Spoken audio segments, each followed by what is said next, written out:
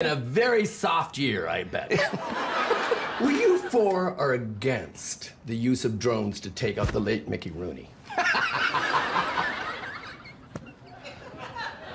and you're a Roman Catholic. I, I was raised Roman Catholic. Roman, Roman Catholic, children against the church. I, well, I didn't. Uh, See, whatever you want to be, you can be. That's what's wonderful about America. If you're a Catholic, be proud that you're a Catholic. And if you're a Buddhist, be proud that you're a Buddhist. Well, some people- And if you're Presbyterian, hide that fact. No one wants.